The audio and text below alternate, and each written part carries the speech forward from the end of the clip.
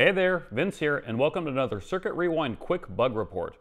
And today, well, I'm getting ready for PDX LAN coming up soon, and what I do every PDX LAN is I go through my rigs and go and clean them out, fix them up, and uh, today I wanted to go one step further and actually repaste the CPU and make sure it's nice and fresh, and I can tell that I did a imperfect job last time. So uh, let's go through and do that, but I'm gonna give you a challenge. If I use a technique today that you did not know about before, you got to give this video a thumbs up, all right? That, that's the deal here, because I'm going to do something you've probably never seen before for the way that I do my uh, repasting. To get this process started a little bit quicker, I've already taken apart the case, I've already pulled off the heatsink, you can see all the goopy goop of the old thermal paste. I'm going to wipe all that down, and uh, let's get to it. Let's change this camera angle. Standard disclaimers apply. Anything that I'm doing right now, if you want to do this yourself, do it at your own risk. If you do any of these tech if you use any of these tools or any of these techniques incorrectly, that's on you, not on me. Uh, all I'm doing is showing you how I clean my CPUs and get rid of thermal paste. However you do it is on you and not on me. So if you break it, sorry. All right, so first up, I'm gonna work with this, uh, the heatsink here and get this all cleaned up. First thing I'm gonna do, some isopropyl alcohol, and I'm just gonna dab real quick on some paper towels and just wipe off the big chunky stuff, right? I'm going to do that one more time. Another bit of alcohol here. Just get that cleaned up nice and good. And that's usually what people do to clean these things, right? Many, many moons ago, I came up with another idea. Why don't I take something sticky and see if I can get that to stick. So I've got some, just some packing tape here, and I'm gonna just take off a chunk of it, and let's just apply it. Get that nice and good on there, and rip it off. And from there, it has an imprint of the heatsink on it. And then I just go down the line and just do this repeatedly over and over and over again. Each time I do this, it picks up a little bit more of the very, very small particulates of the remaining compound that's on this heat sink. And I'll do the same thing for the processor too. You can also hear that each time I do this, it sticks a little bit better than the last time as it's getting closer and closer to the metal, but there's still that very thin layer that's on the, uh, the metal there, or between the metal and the, uh, the tape. And what's nice about this type of tape and doing it using this method is the tape does not leave, at least this tape, does not leave any sticky residue at all. And like I said, when you, you get it in there all nice and good, kind of see that right there, you can actually see the imprint of the heatsink on the tape. And I'll just do this a few more times until it's nice and clean like alternating directions from time to time. So yeah, just getting this in here and just really working it in with uh, with my nail, my thumbnail here. And I just repeat this process over and over again until this thing is nice and actually clean. It's just, there's still a lot of leftover crud that doesn't get uh, picked up by the isopropyl. And this does a really nice job of cleaning it up and making it really shine. Now let's do the processor. I'm gonna do the, the same basic process. Got my isopropyl. Gonna get uh, you know, a paper towel here nice and wet. Just use this to scrape up as much as I can.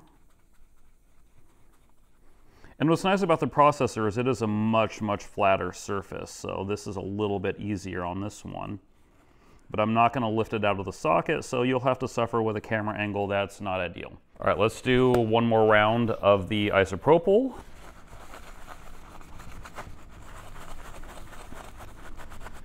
And see right now, that looks nice and clean and shiny, right?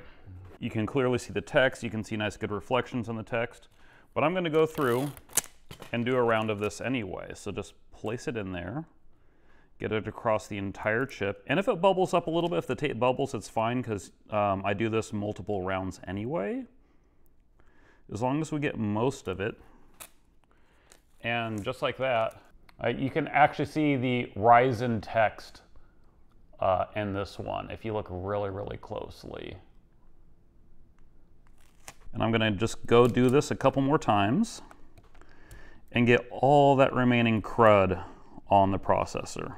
And like I said, if it bubbles up or doesn't go on exactly evenly each time, it's fine because I'm gonna do multiple passes of this anyway. And each time I move the tape down just a little bit further to get away from the last one that I did. And you'll be able to see it on the tape.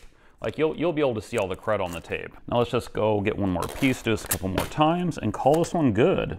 Listen to that nice crisp sound as I pull up the tape. Like pretty much almost all of the gunk is now removed from this chip. Like I'm not seeing any imprints of the, uh, the chip anymore on the tape, which is exactly what you want. You want just a nice, good, clean application and pull up where there's basically nothing. All right, I need to go get an actual cutting tool real quick.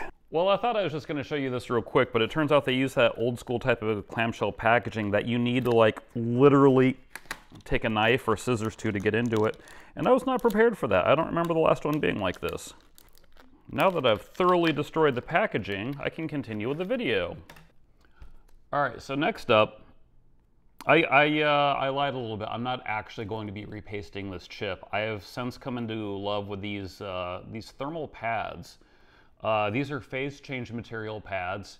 And uh, basically you, you put it, um, it, it's a replacement for thermal paste. So they go on, they are nice and thin. They're designed to go between the CPU and the heatsink.